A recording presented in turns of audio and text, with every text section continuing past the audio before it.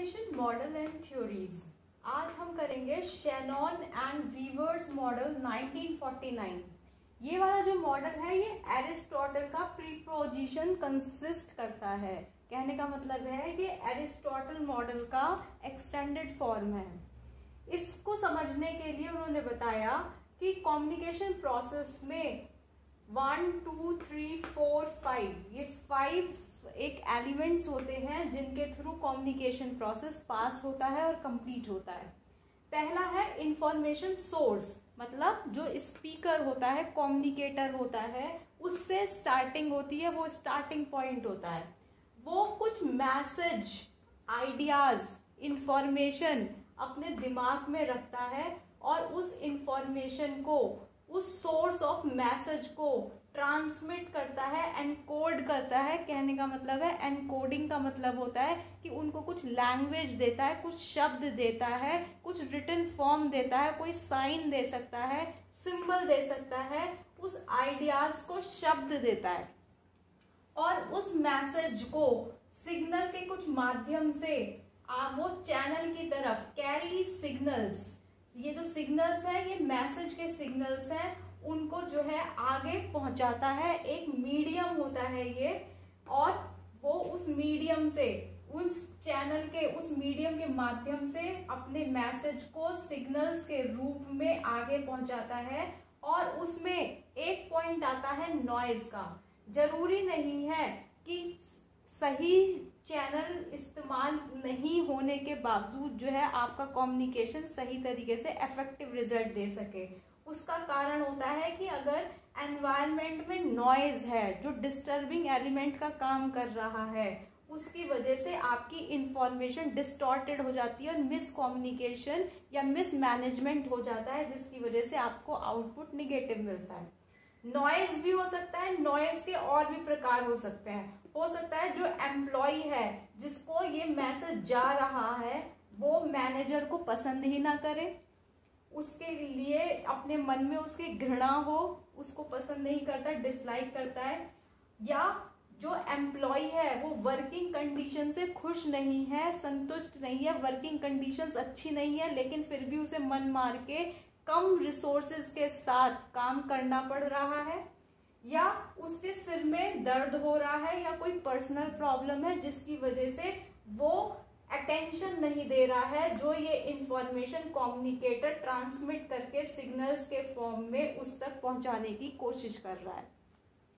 यहाँ पर नॉइस के कारण से जो उसको इंफॉर्मेशन मिलेगी, उसने उसे अटेंटिवली सुना नहीं, जिसकी वजह से वो जो आउटपुट देगा, आधे अधूरे कम्युनिकेशन को सुनकर वो प्री मैच्योर इवेल्युएशन देता है।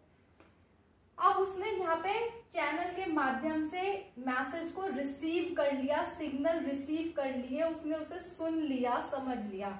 अब रिसीवर जो है, जो कम्युनिकेटी है, जो एम्प्लॉय है, वो जो है उस मैसेज को डिकोड करेगा, उसको जैसा कम्युनिकेटर ने स्पीकर ने बात कही है, उसको समझने की कोशिश करेगा, उन सिग्नल्स को कुछ अर्थ निकालेगा और आगे की तरह एक्ट करेगा। वो मैसेज को कैच करता है, या तो सुनकर, या किस पढ़ के अगर कोई ऑर्डर्स जो है लिखित रूप में आया है तो सर्कुलर पास हुआ है तो वो सर्कुलर को पढ़ेगा और समझेगा और तब रिएक्ट करेगा। अगर उसकी फ़ोन पे बात हो रही है, या कोई न्यूज़ सुन रहा है तो न्यूज़ सुनने के बाद वो उसको डिकोड करेगा, उसको समझेगा उसका मीनिंग निकालेगा उस पर एनालाइज करेगा, उसका इंटरप्रिटेशन करेगा और तब जाके वो रिएक्ट करेगा। यहाँ पे जो मैसेज है मैसेज मतलब जो इंफॉर्मेशन उसने रिसीव करी है, वो अल्टीमेटली अब डेस्टिनेशन तक पहुँच गई है, उसके दिमाग में फ़ीड हो गई है कि मुझे ये मैसेज मिला, अब मुझे उस पर कैसे रिएक्ट करना है। अब ये रिज़ल्ट ओरिएंटेड लास्ट उसका एलिमेंट है। सेकंड आता है आपका Berlo's communication model Berlo's communication model ने S M C R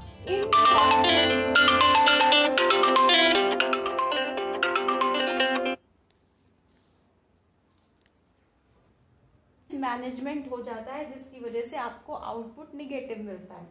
noise भी हो सकता है नॉइज़ के और भी प्रकार हो सकते हैं. हो सकता है जो एम्प्लॉय है, जिसको ये मैसेज जा रहा है, वो मैनेजर को पसंद ही ना करे। उसके लिए, अपने मन में उसकी घृणा हो, उसको पसंद नहीं करता डिसलाइक करता है, या जो एम्प्लॉय है, वो वर्किंग कंडीशन से खुश नहीं है, संतुष्ट नहीं है वर्किंग कंडीशंस अच्छी नहीं है, लेकिन फिर भी उसे मन मार के कम रिसोर्सेज के साथ काम करना पड़ रहा है। या उसके सिर में दर्द हो रहा है या कोई पर्सनल प्रॉब्लम है, जिसकी वजह से वो अटेंशन नहीं दे रहा है, जो ये इंफॉर्मेशन कम्युनिकेटर ट्रांसमिट करके सिग्नल्स के फॉर्म में उस तक पहुँचाने की कोशिश कर रहा है। यहाँ पर नॉइस के कारण से जो उसको इंफॉर्मेशन मिलेगी, उसने उसे अटेंटिवली सुना नहीं, जिसकी वजह से वो जो आउटपुट देगा आधे अधूरे कम्युनिकेशन को सुनकर वो प्री मैच्योर इवेल्युएशन देता है। अब उसने यहाँ पे चैनल के माध्यम से मैसेज को रिसीव कर लिया सिग्नल रिसीव कर लिए, उसने उसे सुन लिया, समझ लिया। अब रिसीवर जो है, जो कम्युनिकेटी है, जो एम्प्लॉय है, वो जो है उस मैसेज को डिकोड करेगा, उसको जैसा कम्युनिकेटर ने स्पीकर ने बात कही है, उसको समझने की कोशिश करेगा उन सिग्नल्स को कुछ अर्थ निकालेगा और आगे की तरह एक्ट करेगा। वो मैसेज को कैच करता है, या तो सुनकर, या कुछ पढ़ के अगर कोई ऑर्डर्स जो है लिखित रूप में आया है तो सर्कुलर पास हुआ है तो वो सर्कुलर को पढ़ेगा और समझेगा और तब रिएक्ट करेगा।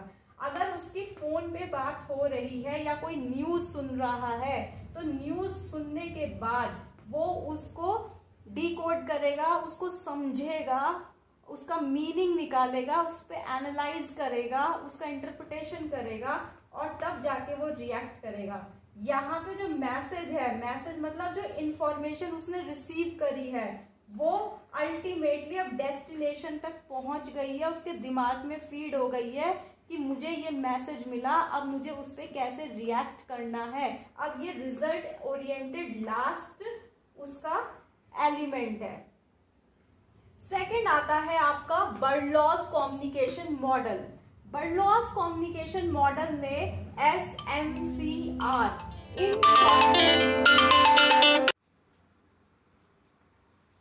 अब हम करेंगे Berlo's communication model Berlo's communication model जो है एस एम सी आर इन फैक्टर्स के ऊपर डिपेंड करता है। पहला है सोर्स जो कॉम्युनिकेटर होता है। कम्युनिकेटर की कुछ सोर्सेज होती हैं, जिसके ऊपर वो कम्युनिकेशन डिज़ाइन करता है आइडियाज़ और एक्सप्रेशंस को फॉर्म करता है, जैसे उसकी कम्युनिकेशन स्किल हर व्यक्ति अपनी बात को प्रकट नहीं कर पाता, बता नहीं पाता, समझा नहीं पाता अपार्ट फ्रॉम द फैक्ट कि उसकी नॉलेज बहुत अच्छी है। सेकंड है एटीट्यूड हर व्यक्ति का एटीट्यूड भी डिपेंड करता है कि वो किस एटीट्यूड के साथ दूसरे को ट्रीट कर रहा है। हम हर किसी की बात को नहीं मानते, नहीं सुनते just because of the attitude कभी कभी हम डॉक्टर के पास जाते हैं तो डॉक्टर के एटीट्यूड से ही हम अपने आप को बहुत वेल फ्री फील करते हैं। क्यों? क्योंकि उसका एटीट्यूड इतना सोवर और इतना हेल्पिंग हैंड महसूस होता है कि हमारी आधी बीमारी दूर हो जाती है। थर्ड है नॉलेज हर व्यक्ति को नॉलेज भी होनी चाहिए, उसे ट्रिक आनी चाहिए, वो स्किलफुल होना चाहिए कि दूसरों से उसे अपनी बात मनवानी है तो किस तरीके से मनवानी है तो उसमें उसकी कम्युनिकेशन स्किल होनी चाहिए।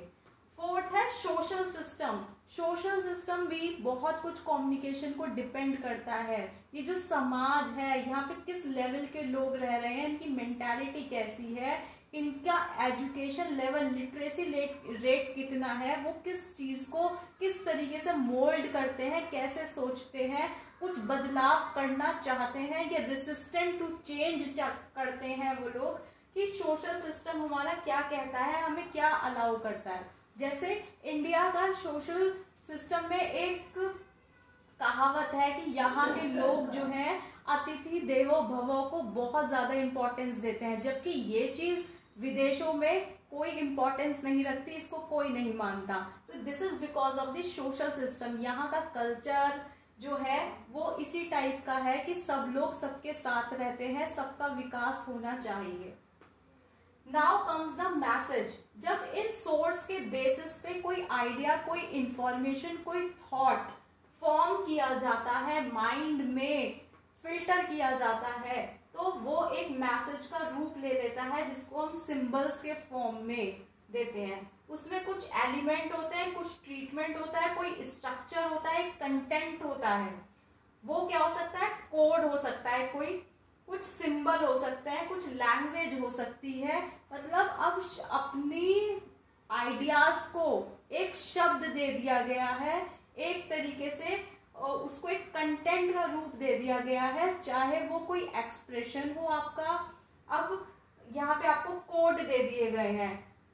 आपको सिंबल्स दे दिए गए हैं कि इन सिंबल्स का अर्थ ये है। जैसे किसी को अगर ए छोटे बच्चे को ए लिख के आप दिखाएँ तो ए फॉर वो क्या बोलेगा? एप्पल बोलेगा मैच कर लेगा। अगर एप्पल की फ़ोटो बनी हुई है तो उसके आगे वो ए बनाएगा। दीज सिंबल्स का भी अपने आप में अर्थ होता है। जैसे ट्रैफ़िक सिग्नल्स हो गए, रेड का क्या अर्थ है, रेड लाइट का, ग्रीन लाइट का क्या अर्थ है तो वो सारे सिंबल्स जो है अपने आप में स्पीक करते हैं, आपको मैसेज देते हैं। सी मीन्स चैनल्स जब सोर्स से आपका आइडियाज़ अब मैसेज का फॉर्म ले चुका है, अब मैसेज जो है किसी चैनल के माध्यम से मीडियम के माध्यम से वो आगे ट्रांसमिट किया जाएगा रिसीवर को, जिससे कि हमें आउटपुट मिलना है। वो कैसे हो सकता है? क्या चैनल हो सकता है? किसी चीज़ को देख के आप रिएक्ट करते हैं, किसी चीज़ को सुनकर आप रिएक्ट करते हैं, किसी चीज़ को आप छू के एकदम से रिएक्ट करते हैं, जैसे कोई चीज़ गर्म है और आपने उसको हाथ लगाया तो आप एकदम हाथ हटा लेंगे। क्यों? क्योंकि वो आपको गर्म फीलिंग दे रहा है। स्मेलिंग किसी चीज़ को खुशबू को आप स्मेल करते हैं, कुछ आपको अच्छी लगती है, कुछ आपको अच्छी नहीं लगती। तो आप उसका रिएक्शन आप उसका देते हैं। टेस्टिंग कुछ चीज़ आप चख के बता देते हैं कि इसमें मीठा कम है या मीठा ज़्यादा है या उसका नमक कम है या नमक ज़्यादा है। तो उसका आप रिएक्शन जो है, जो चैनल्स हैं, वो आपकी सेंसरी ऑर्गन्स जो हैं, उनसे रिएक्ट होके, उनसे स्टिमुलस मिलकर आप जो है, उन्हें रिस्पॉन्ड करते हैं। फिर है रिसीवर जो अल्टीमेट रिसीवर है, जिसके लिए ये मैसेज बना हुआ है। अगर रिसीवर ही नहीं होगा तो कोई कम्युनिकेशन नहीं होगा। तो रिसीवर जो है, वो भी अपनी कम्युनिकेशन स्किल से ट्रिक से समझता है कि दूसरा व्यक्ति किस रूप में क्या बात कह रहा है, उसका अर्थ क्या है, वो मुझसे क्या चाहता है। एटीट्यूड दूसरा व्यक्ति मेरी इज़्ज़त कर रहा है या मेरी इज़्ज़त नहीं कर रहा, वो जो है दिल से मेरे से नफरत करता है। नॉलेज वो अपनी नॉलेज को यूज़ करता है और उस मैसेज को इंटरप्रेट करता है और अपने आप को सेफ़ गार्ड करते हुए वो आगे चलता है। सोशल सिस्टम वो भी सोशल सिस्टम भी देखता है कि समाज में वो चीज़ लागू होनी चाहिए या नहीं होनी चाहिए उसके बाद अपना ओपिनियन फॉर्म करता है। या तो उसे एक्सेप्ट करता है उस चेंज को या रिसेस टू चेंज हो जाता है उस चेंज को आ, आ, क्या कहते हैं अपोज करता है। लास्ट है culture culture matters a lot हर व्यक्ति का हर नेशन का अपना अपना अलग अलग कल्चर होता है और वो हैबिट्स बन के हमारे अंदर बन हैबिट्स बन के परमानेंट रहता है, जिससे हम रिएक्ट करते हैं और अपनी पूरी लाइफ अपनी सोच, समझ मेंटेलिटी उसी पे डिपेंड करती है। ये आज के शेनॉन्स वीवर्स मॉडल 1949 पढ़ा और बर्लॉस कम्युनिकेशन मॉडल पढ़ा। तो ये दो थ्योरी कम्युनिकेशन में बहुत इंपॉर्टेंट है। इनके ऊपर कई बार क्वेश्चंस पूछे गए और उसमें इसी मॉडल को एक एक पॉइंट को स्टेप बाय स्टेप समझाना है और ये बहुत इजी है। थैंक यू कुछ सिंबल हो सकते हैं, कुछ लैंग्वेज हो सकती है। मतलब अब अपनी आइडियाज़ को एक शब्द दे दिया गया है, एक तरीके से उसको एक कंटेंट का रूप दे दिया गया है, चाहे वो कोई एक्सप्रेशन हो आपका। अब यहाँ पे आपको कोड दे दिए गए हैं। आपको सिंबल्स दे दिए गए हैं कि इन सिंबल्स का अर्थ ये है, जैसे किसी को अगर ए छोटे बच्चे को ए लिख के आप दिखाएँ तो ए फॉर वो क्या बोलेगा? एप्पल बोलेगा मैच कर लेगा। अगर एप्पल की फ़ोटो बनी हुई है तो उसके आगे वो ए बनाएगा। दीज सिंबल्स का भी अपने आप में अर्थ होता है। जैसे ट्रैफ़िक सिग्नल्स हो गए रेड का क्या अर्थ है? रेड लाइट का ग्रीन लाइट का क्या अर्थ है? तो वो सारे सिंबल्स जो है, अपने आप में स्पीक करते हैं, आपको मैसेज देते हैं।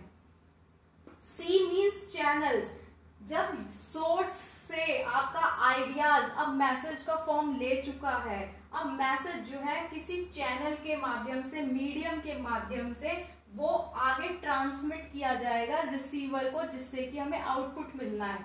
वो कैसे हो सकता है? क्या चैनल हो सकता है? किसी चीज़ को देख के आप रिएक्ट करते हैं। किसी चीज़ को सुनकर आप रिएक्ट करते हैं, किसी चीज़ को आप छू के एकदम से रिएक्ट करते हैं, जैसे कोई चीज़ गर्म है और आपने उसको हाथ लगाया तो आप एकदम हाथ हटा लेंगे। क्यों? क्योंकि वो आपको गर्म फीलिंग दे रहा है। स्मेलिंग किसी चीज़ को, खुशबू को आप स्मेल करते हैं, कुछ आपको अच्छी लगती है, कुछ आपको अच्छी नहीं लगती तो आप उसका रिएक्शन आप उसका देते हैं।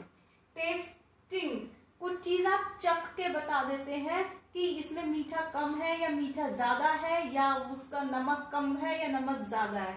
तो उसका आप रिएक्शन जो है, जो चैनल्स हैं, वो आपकी सेंसरी ऑर्गन्स जो हैं, उनसे रिएक्ट होके, उनसे स्टिमुलस मिलकर आप जो है, उन्हें रिस्पॉन्ड करते हैं। फिर है रिसीवर जो अल्टीमेट रिसीवर है, जिसके लिए ये मैसेज बना हुआ है। अगर रिसीवर ही नहीं होगा तो कोई कम्युनिकेशन नहीं होगा। तो रिसीवर जो है, वो भी अपनी कम्युनिकेशन स्किल से ट्रिक से समझता है कि दूसरा व्यक्ति किस रूप में क्या बात कह रहा है, उसका अर्थ क्या है, वो मुझसे क्या चाहता है। एटीट्यूड दूसरा व्यक्ति मेरी इज़्ज़त कर रहा है या मेरी इज़्ज़त नहीं कर रहा, वो जो है दिल से मेरे से नफरत करता है। नॉलेज वो अपनी नॉलेज को यूज़ करता है और उस मैसेज को इंटरप्रेट करता है और अपने आप को सेफ़ गार्ड करते हुए वो आगे चलता है। सोशल सिस्टम वो भी सोशल सिस्टम भी देखता है कि समाज में मैसेज जो है किसी चैनल के माध्यम से मीडियम के माध्यम से वो आगे ट्रांसमिट किया जाएगा रिसीवर को, जिससे कि हमें आउटपुट मिलना है। वो कैसे हो सकता है? क्या चैनल हो सकता है? किसी चीज़ को देख के आप रिएक्ट करते हैं, किसी चीज़ को सुनकर आप रिएक्ट करते हैं, किसी चीज़ को आप छू के एकदम से रिएक्ट करते हैं, जैसे कोई चीज़ गर्म है और आपने उसको हाथ लगाया तो आप एकदम हाथ हटा लेंगे। क्यों? क्योंकि वो आपको गर्म फीलिंग दे रहा है। स्मेलिंग किसी चीज़ को, खुशबू को आप स्मेल करते हैं, कुछ आपको अच्छी लगती है, कुछ आपको अच्छी नहीं लगती तो आप उसका रिएक्शन आप उसका देते हैं। टेस्टिंग कुछ चीज़ आप चख के बता देते हैं कि इसमें मीठा कम है या मीठा ज़्यादा है या उसका नमक कम है या नमक ज़्यादा है। तो उसका आप रिएक्शन जो है, जो चैनल्स हैं, वो आपकी सेंसरी ऑर्गन्स जो हैं, उनसे रिएक्ट होके, उनसे स्टिमुलस मिलकर आप जो है उन्हें रिस्पॉन्ड करते हैं। फिर है रिसीवर जो अल्टीमेट रिसीवर है, जिसके लिए ये मैसेज बना हुआ है। अगर रिसीवर ही नहीं होगा तो कोई कम्युनिकेशन नहीं होगा। तो रिसीवर जो है, वो भी अपनी कम्युनिकेशन स्किल से ट्रिक से समझता है कि दूसरा व्यक्ति किस रूप में क्या बात कह रहा है, उसका अर्थ क्या है, वो मुझसे क्या चाहता है। एटीट्यूड दूसरा व्यक्ति मेरी इज़्ज़त कर रहा है या मेरी इज़्ज़त नहीं कर रहा, वो जो है दिल से मेरे से नफरत करता है। नॉलेज वो अपनी नॉलेज को यूज़ करता है और उस मैसेज को इंटरप्रेट करता है और अपने आप को सेफ़ गार्ड करते हुए वो आगे चलता है। सोशल सिस्टम वो भी सोशल सिस्टम भी देखता है कि समाज में वो चीज़ लागू होनी चाहिए या नहीं होनी चाहिए उसके बाद अपना ओपिनियन फॉर्म करता है। या तो उसे एक्सेप्ट करता है उस चेंज को या रिसेस टू चेंज हो जाता है उस चेंज को आ, आ, क्या कहते हैं अपोज करता है। लास्ट है कल्चर कल्चर मैटर्स और लॉट हर व्यक्ति का हर नेशन का अपना अपना अलग अलग कल्चर होता है और वो हैबिट्स बन के हमारे अंदर बन हैबिट्स बन के परमानेंट रहता है, जिससे हम रिएक्ट करते हैं और अपनी पूरी लाइफ अपनी सोच, समझ मेंटेलिटी उसी पे डिपेंड करती है। ये आज के शेरॉन्स वीवर्स मॉडल 1949 पढ़ा और बर्लॉस कम्युनिकेशन मॉडल पढ़ा। तो ये दो थ्योरी कम्युनिकेशन में बहुत इंपॉर्टेंट है। इनके ऊपर कई बार क्वेश्चंस पूछे गए और उसमें इसी मॉडल को एक एक पॉइंट को स्टेप बाय स्टेप समझाना है और ये बहुत इजी है। Thank you